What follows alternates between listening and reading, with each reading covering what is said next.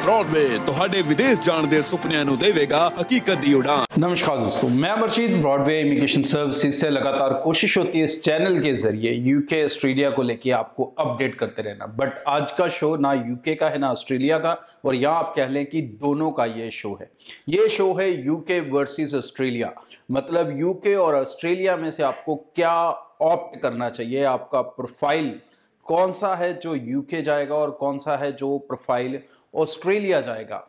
ये मैं शो इसलिए बना रहा हूँ क्योंकि पिछले दिनों में बहुत सारे बच्चों से मिला हूँ जो एलिजिबल यूके के लिए हैं लेकिन जिद ऑस्ट्रेलिया की करते हैं जो एलिजिबल ऑस्ट्रेलिया के लिए हैं और जिद यूके की करते हैं। और कहीं ना कहीं वो कंफ्यूज्ड हैं या ओवर कॉन्फिडेंट हैं खासकर जिन्होंने आज पीटी कर लिया वो सोचते हैं कि ऑस्ट्रेलिया हमारा होना ही चाहिए। सो so, इस चीज़ का एक कंपैरिजन मैं आपको दे रहा हूँ ताकि आप बेहतर और अच्छा डिसीज़न अपने फ्यूचर को लेके बना सकें और अकॉर्डिंगली अपनी फ्यूचर की चीज़ों को प्लान कर सकें। सो so, सबसे पहले चाहूँगा इस चैनल को आप ज़रूर सब्सक्राइब करें ताकि रेगुलर अपडेट इंफॉर्मेशन नॉलेज आपको मिलती रहे। जो भी बच्चे विदेश में जाके पढ़ने की सोचते हैं, इसके अलावा अगर आपके मन में कोई क्वेश्चन है सवाल है, आप मुझे इंस्टाग्राम पे फॉलो कर सकते हैं मैसेज कर सकते हैं रिवर्ट करने की कोशिश रहेगी। और अगर आप ब्रॉडवे के साथ अपनी प्रोफ़ाइल असेसमेंट कराना चाहते हैं अप्लाई करना चाहते हैं सर्विसेज़ लेना चाहते हैं तो आप ब्रॉडवे की टीम को कॉल कर सकते हैं, अपनी नियरेस्ट ब्रांच में अपॉइंटमेंट बना सकते हैं, या आप यही अपॉइंटमेंट ब्रॉडवे की वेबसाइट पर जाके अप्लाई नाउ का फॉर्म भर के अपनी नियरेस्ट ब्रांच से इन टच हो सकते हैं, अपने प्रोफाइल्स को लेकर सो यूके और ऑस्ट्रेलिया एक अंतर सबसे बड़ा कि यूके विदाउट आल्स पॉसिबल है विदाउट पीटी पॉसिबल है ऑस्ट्रेलिया विदाउट आल्स या विदाउट पीटी पॉसिबल नहीं है। डुलिंगो सिर्फ़ यूके चलेगा ऑस्ट्रेलिया नहीं चलेगा। ऑस्ट्रेलिया यूके के अंदर विदाउट आल्स पीटी जा रहे हो आप फाइन विदाउट इंग्लिश नहीं जा सकते। सो so, आपको इंग्लिश को जस्टिफाई करना है। अगर कोई बच्चा ये सोचता है मुझे इंग्लिश बोलनी नहीं आती समझनी नहीं आती सुननी नहीं आती मेरे पास नंबर है मार्क्स हैं प्लस टू के सेवेंटी परसेंट इंग्लिश है या कुछ भी तो दोस्त नहीं होगा। आप यूनिवर्सिटी की इंटरव्यू में स्टक हो जाओगे, वहीं पर आपकी स्टोरी खत्म हो जाएगी। So knowing English is very important in UK ठीक है जी? एंड सेकंड तरफ़ ऑस्ट्रेलिया जहाँ पर इसी इंग्लिश को साबित करने के लिए आपके पास आल्स और पीटी दोनों एक्सेप्टेबल हैं। दोनों पे 100 परसेंट वीज़ा सक्सेस रेट है। कोई यहाँ पर डिफरेंस नहीं है कनाडा की तरह। सो चाहे आपका पीटी में वन मेड्यूल 5.5 ओवरऑल सिक्स हैं प्लस टू हैं परफेक्टली फाइन और ग्रेजुएट हैं तो सिक्स ईच का स्कोर होना चाहिए।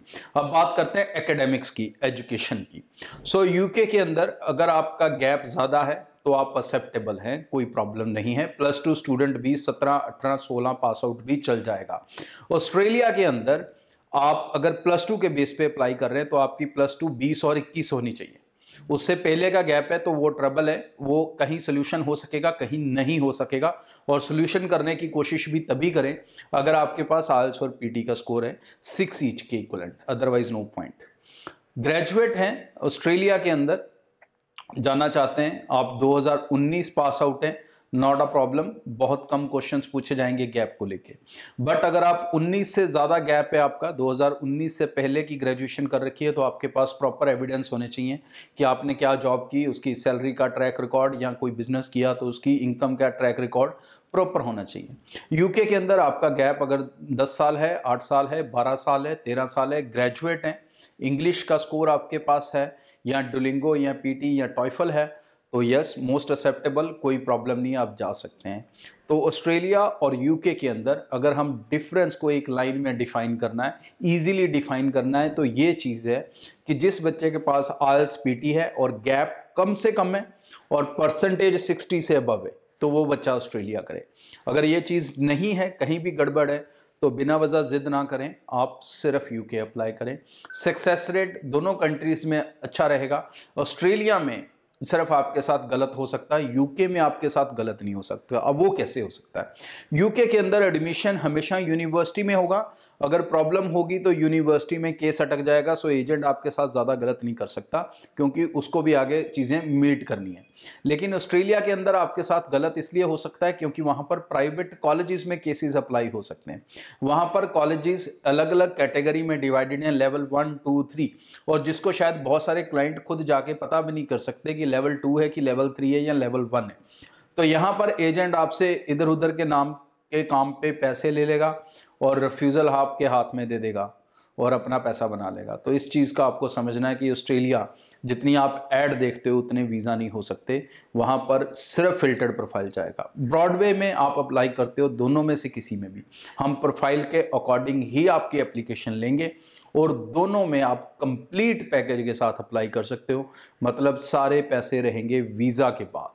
चाहे वो फ़ीस है कॉलेज यूनिवर्सिटी की, चाहे वो एम्बेसी फ़ीस है, चाहे वो इंश्योरेंस है, और या कोई और मिसलिनियस एक्सपेंसेस हैं, ये सारे खर्चे वीज़े के बाद आप कंप्लीट सर्विस का पैकेज ले सकते हो, और पैकेज कंप्लीट तभी मिलता है जब आपका प्रोफ़ाइल एलिजिबल होता है, और आप उसी जगह अप्लाई कर रहे होते हो जहाँ पर आप एलिजिबल हो। अगर आप पैसा एडवांस फेंक रहे हो किसी को तो दैट मीन्स ऑस्ट्रेलिया में आप रिस्क ले रहे हो यूके में उतना ज़्यादा नहीं है बिकॉज यहाँ पर यूनिवर्सिटीज़ ने बहुत अच्छा एक फ़िल्टर लगा रखा है जिसको एजेंट भी क्रॉस नहीं कर सकता सो आगे भी इस चैनल के ज़रिए आपको अपडेट करने की कोशिश रहेगी टीम से सर्विस लेना चाहते हैं अपने प्रोफाइल के बारे में बेहतर जानना चाहते हैं तो टीम से कॉन्टैक्ट करें थैंक यू ब्रॉडवे ਤੁਹਾਡੇ ਵਿਦੇਸ਼ ਜਾਣ ਦੇ ਸੁਪਨਿਆਂ ਨੂੰ ਦੇਵੇਗਾ ਹਕੀਕਤ ਦੀ ਉਡਾਨ